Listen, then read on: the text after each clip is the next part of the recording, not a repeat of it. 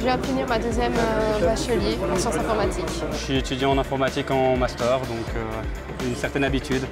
Basique, on va dire.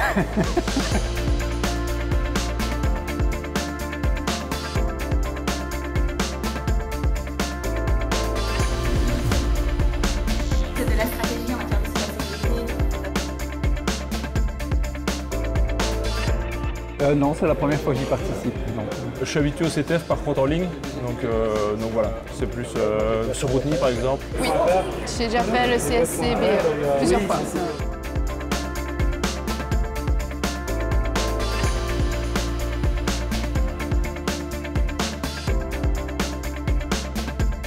Un prof nous a envoyé un mail, il a dit oh vous montrez bien une équipe à l'université, on a monté une petite équipe ici de 4. C'était un CSC et on avait déjà fait un CSC ensemble, et, euh, mais c'était euh, en ligne et ici on a pu faire euh, en vrai. Je suis assez intéressé par le CTF en règle générale, donc en découvrir un de plus, c'est toujours assez chouette. le fun.